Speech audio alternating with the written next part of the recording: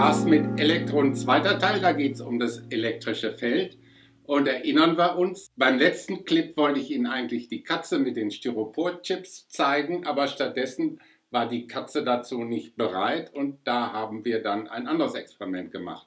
Ganz wichtig in der Physik ist, Experimente müssen reproduzierbar sein. Das heißt also, wenn man eine Erkenntnis hat, dann muss man die nochmal überprüfen, um sicher zu sein, dass man keinerlei Fehler gemacht hat. Und genau so möchte ich das auch bei dem Experiment vom letzten Mal machen. Ich habe heute noch einmal den Luftballon gerieben, so wie beim letzten Mal, und dann konnte ich das reproduzieren. Und als Besonderheit zeige ich Ihnen jetzt das gleiche nochmal in Zeitlupe. Man sieht also, welche Kräfte diese Elektrostatik hat, mit welcher Kraft die Papierstückchen hochgezogen werden aufgrund der elektrischen Ladungen auf dem Luftballon. Und was man auch in der Zeitlupe sieht, ist, dass die nicht einfach nur angezogen werden, sondern ab und zu fällt auch wieder eins runter. Das hat damit zu tun, dass die Papierschnipsel an dem Luftballon die Elektronen aufnehmen, dann auch negativ werden und dann von dem Luftballon wieder abgestoßen werden. Dann fallen sie runter, geben die Elektronen ab an das Metall des Tabletts und dann können sie wieder angezogen werden von dem Luftballon. Aber die eigentliche Frage, die ich heute beantworten möchte, ist die Frage, wie kann es sein, dass die Ladungen im Luftballon mit den Papierschnipseln am Boden Kontakt aufnehmen und die dazu bringen, hochzufliegen? Das heißt also, wenn da Kräfte wirken, wirken die über die Ferne oder wie funktioniert das Ganze? Physiker mögen diese Fernwirkungen nicht. Das hat was mit Okkultismus zu tun, mit Geistern. Da steht jemand ganz woanders und beeinflusst jemanden, der wiederum ganz woanders stehen kann. Und solche Fernwechselwirkungen, die man nicht versteht, möchte man in der Physik nicht haben. Und darum sucht man nach Erklärungen, wie man diese Wirkung der Ladung auf eine entfernte Ladung anders verstehen kann. Anders als dadurch, dass man denkt, das passiert über die Entfernung mit irgendwelchen seltsamen Kräften. Gut, diese Kräfte existieren nun mal und die Erklärung dazu, die hat mit dem wichtigen Begriff des Feldes zu tun, in unserem Fall also das elektrische Feld. Später kommen wir noch zum magnetischen Feld. Es gibt auch das Gravitationsfeld und noch andere Felder, die in der Physik entdeckt wurden als Teile unserer Welt. Schauen wir uns also doch noch einmal die Kräfte an, die wirken. Dazu kann ich Ihnen hier am besten wieder eine Simulation zeigen. Da sehen Sie also hier Folgendes. Wir bringen jetzt eine positive Ladung in den Raum und noch eine zweite positive Ladung. Diese beiden Ladungen, die stoßen sich ab.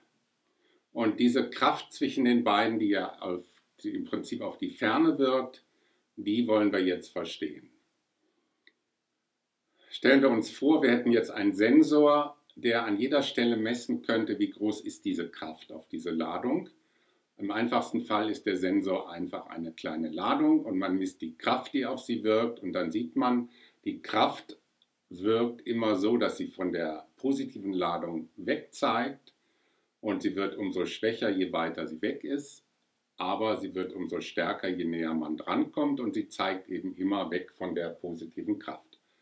Diese Kraft, die kann man also jetzt für jeden Punkt im Raum definieren. Die ist natürlich umso stärker, je größer die Ladung ist. Wenn man aber eine Standardladung nimmt, dann hat man eine definierte Stärke der Kraft. Und diese Stärke der Kraft normiert auf die Ladung, die nennt man die elektrische Feldstärke. Die kann man also jetzt in jedem Punkt des Raumes eintragen. Man kann jetzt zusätzlich natürlich noch eine zweite Ladung hineinbringen. Und diese zweite Ladung spürt nicht nur dieses Feld, sie erzeugt auch selber wieder ein Feld. Und dann sieht man, daraus resultiert dann ein neues Feld, was eine andere Struktur hat als vorher. Und wenn man jetzt eine negative Ladung stattdessen hineinbringt, dann kriegt man eine andere Konfiguration als bei zwei positiven Ladungen. Das heißt also, jede Ladungskonfiguration führt zu einer bestimmten Feldkonfiguration und dieses elektrische Feld ist im gesamten Raum vorhanden. Es gibt also quasi nur ein elektrisches Feld im Raum und die Feldstärke kann man an jedem Punkt des Raumes messen, indem man eine Probeladung hineinbringt. Und durch ein solch komplexes System von Ladungen kriegt man ein komplexes elektrisches Feld und an jedem Punkt ist definiert, wie stark das elektrische Feld dort ist. Wenn man jetzt verstehen will, wieso die Ladung über große Entfernung Kräfte ausüben können, so hat man jetzt einen Zwei-Schritt-Prozess. Als erstes erzeugt die Ladung ein Feld im ganzen Raum und als zweiten Schritt kann man dann berechnen, wie eine zweite Ladung an diesem Punkt des Raumes durch das dort vorhandene elektrische Feld beeinflusst wird. Das heißt also, man macht aus dieser Kraft, die in Ferne wirkt, eben diesen Zwei-Schritt-Prozess. Man erzeugt ein Feld und das Feld wirkt dann auf die zweite Ladung. Das Feld wird umso schwächer, je weiter man weg ist von der Ladung, aber letztlich ist dieses Feld im gesamten Raum. Wie so ein Feld auf eine Ladung wirkt, kann man hier in der folgenden Simulation sehr schön erkennen.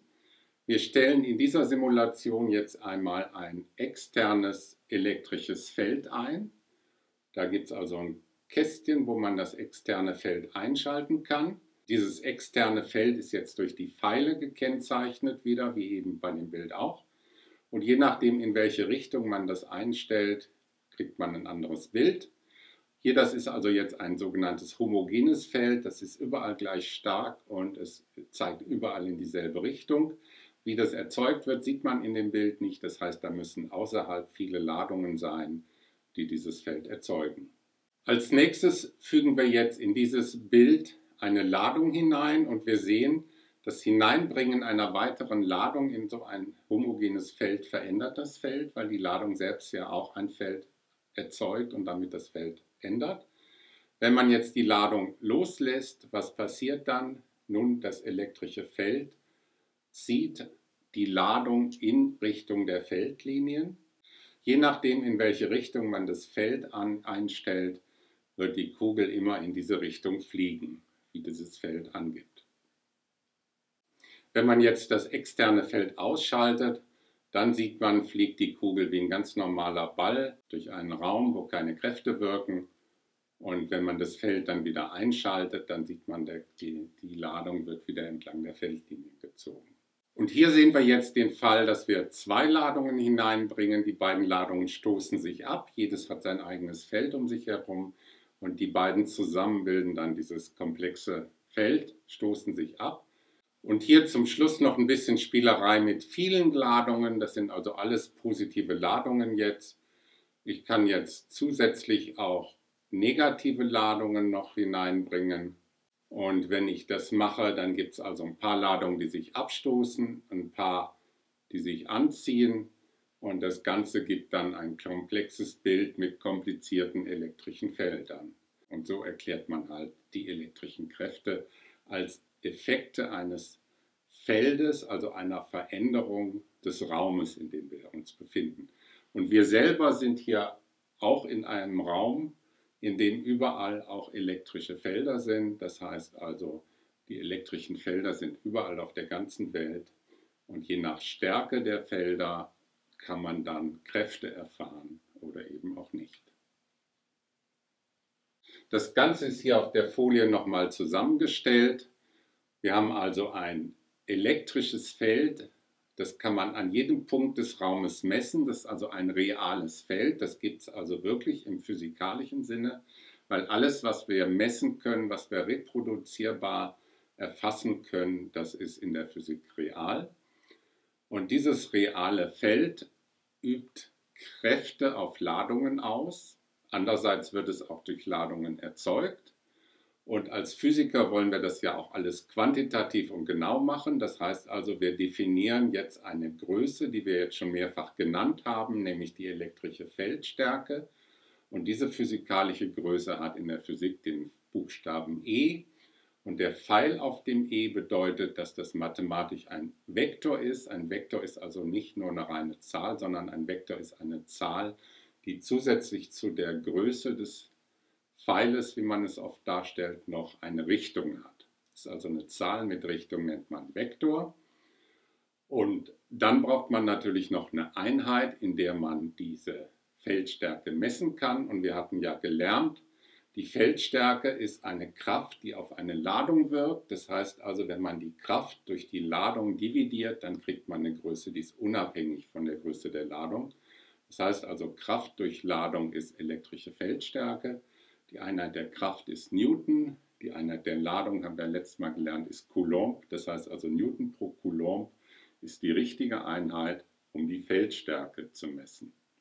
Als nächstes wollen wir uns mal noch mit einem anderen wichtigen Punkt beschäftigen, der mit elektrischen Feldern zusammenhängt, und das ist die elektrische Spannung. Spannung in Volt haben wir alle schon mal gehört. Was hat das jetzt mit elektrischen Feldern zu tun? Nun machen wir also folgende Simulation hier wieder. Wir nehmen unsere schöne Software, da tun wir jetzt mal ein paar Ladungen an die verschiedenen Orte. Also zunächst mal ein paar positive Ladungen auf die eine Seite und damit es schön symmetrisch ist, ein paar negative Ladungen auf die andere Seite. Jetzt haben wir auf beiden Seiten vier Ladungen, vier positive, vier negative. Wenn wir jetzt eine weitere Ladung sozusagen als Probeladung in die Nähe der positiven Wolke stellen, dann ist klar, man braucht nicht nur Kraft, um die Ladung dahin zu schieben gegen die Feldlinien, sondern man braucht auch Energie dafür. Andererseits, wenn wir die rote positive Ladung zu den blauen negativen Ladungen schieben, da gewinnen wir Energie, weil die ja angezogen werden. Wir müssen die sozusagen festhalten, damit sie einem nicht dahin fliegt. Das heißt also, außer Kräften geht es bei solchen Ladungen auch um Energien. Ja, und Energie, elektrische Energien haben eine große Bedeutung in vielen Bereichen der Technik und darum ist das ein besonders wichtiger Begriff jetzt. Nun, was machen wir als nächstes? Wir nehmen jetzt mal ein Gerät. Dieses Gerät misst also jetzt, wie viel Energie man braucht, um mit einer Probeladung zu einem bestimmten Punkt zu kommen. Diese Größe, die man dann bekommt, die nennt man elektrisches Potential, die wird in Volt gemessen. Und wir sehen also jetzt, jeder Punkt im Raum hat nicht nur eine Feldstärke, sondern wenn man von einem Punkt A zu einem Punkt B geht, dann braucht man auch eine gewisse Energie, um dahin zu kommen, beziehungsweise man gewinnt eine gewisse Energie, wenn man dahin geht. Und diese Energie normiert auf die Ladung, das ist also die elektrische potenzielle Energie oder das elektrische Potential. Dann kommen wir nämlich auch bald zu dem Begriff der elektrischen Spannung. Die elektrische Spannung ist also das gleiche wie das elektrische Potential, nur bei der Spannung definiert man das normalerweise zwischen zwei Punkten und das Potential wird oft gegenüber dem Potential der Erde zum Beispiel gemessen. Und das ist hier auf der nächsten Folie nochmal zusammengefasst. Das heißt, was haben wir gelernt? Wenn man die Frage beantworten will, man hat verschiedene Ladungskonfigurationen, man möchte vom Punkt A zum Punkt B gehen, dann kann man die Frage stellen, wie viel Energie braucht man oder wie viel Energie wird frei, wenn man eine Ladung von diesem Punkt A zu nach B bringt. Diese Größe hängt, wie ich es jetzt schon mehrfach gesagt habe, von der Größe der Ladung ab, die man transportiert. Wenn man durch die Ladung dividiert, dann bekommt man eben wieder eine Größe, die nicht von dieser Probeladung abhängt. Und das ist halt die potenzielle Energie dividiert durch die Ladung also Energie durch Ladung, wie es da unten steht, das ist die elektrische Spannung. Die elektrische Spannung misst man eben durch das Volt. Da Spannung das gleiche ist wie Energie dividiert durch Ladung, ist die Größe Volt also nichts anderes als Joule pro Coulomb, denn Joule ist die Einheit der Arbeit oder der Energie und Coulomb war die Einheit der Ladung. Gut, jetzt haben wir schon viele Begriffe gelernt. Wir haben heute also das elektrische Feld E kennengelernt. Wir haben die elektrische Spannung U kennengelernt. Und Sie werden sich nicht wundern, wenn im nächsten Clip nach der Spannung dann auch der Strom und der Widerstand vorkommen. Denn Spannung, Strom und Widerstand, das ist den meisten bekannt aus der Elektrizitätslehre, aus der Elektrotechnik. Überall da braucht man das. Damit verabschiede ich mich für heute und beim nächsten Mal geht es dann Spannung weiter.